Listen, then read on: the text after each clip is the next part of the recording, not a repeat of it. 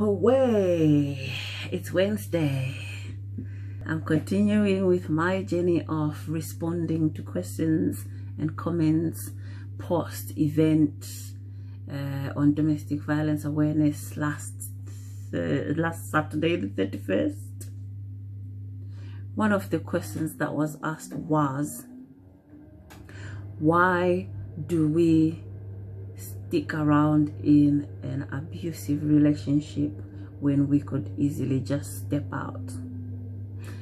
I'm going to talk about one reason. There are many reasons we can go through. We are organizing another event where we can discuss these things, but I'm going to talk about one reason today. And one of the reasons why people stay in abusive relationships when they could easily walk out is because it's very difficult for people to acknowledge that they have made a mistake. It's even harder to acknowledge that they have failed. And a lot of people see walking away from a marriage, walking away from a long-term relationship, walking away from a family is failure. But that is just when you're looking at it on the basics just, you know, like face value. The deeper things that can cause somebody to walk away will make the difference between it being a wrong move or a right move. Will make, will make that difference between it being a failure or actually a benefit. Removing yourself from harm is not a failure. So if you if you've been in a long-term marriage or a long-term relationship that is abusive and you finally pluck the confidence to step away from it, never tell yourself that you have failed. I would say you have actually succeeded. And if you're asking me what you've succeeded in, I'll tell you, you have succeeded in saving yourself.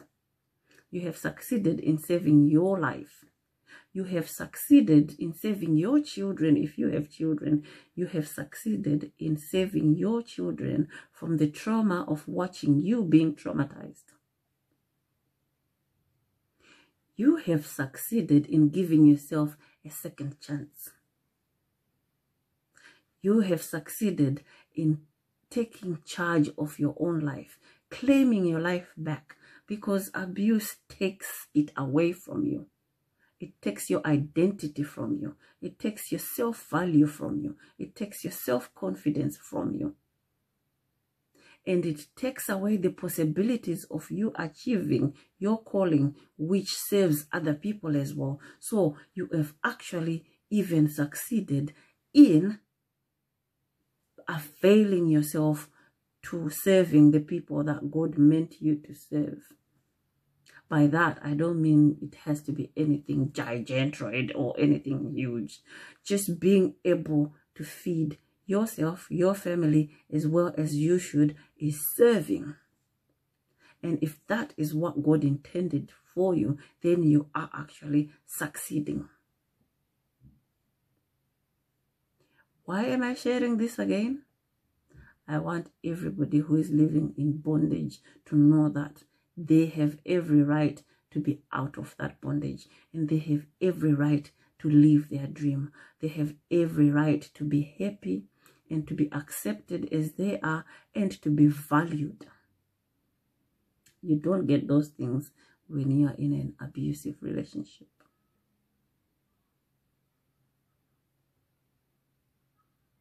And another thing before I go that you have succeeded in doing by removing yourself from an abusive relationship is preserving your mental health. The longer you stay in an abusive uh, relationship or marriage, the higher you are at risk of starting to have mental health problems, mental health illnesses, nervous breakdowns, crushing, loss of jobs, you name it. Almost everything that surrounds your life gets affected by staying in an abusive relationship. And by removing yourself from it, all that gets reversed and you get your life back.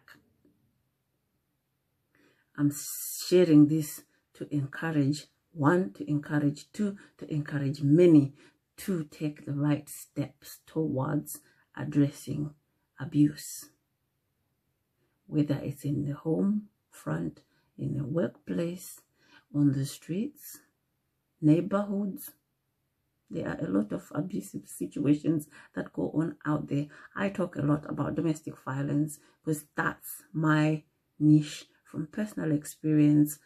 But I also know that there are various types of abuse and all of them, nobody should stay in any of it. Everybody deserves to live life as they were intended by God to live. Have a lovely Wednesday. Continue to do your best to be your best. That is all you can do. Nobody should expect anything more than your best. And if your best is not good enough for the next person, don't worry.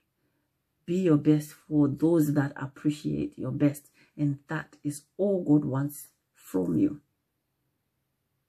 Have a lovely midweek and may the rest of the week be blessed and fruitful. Love always.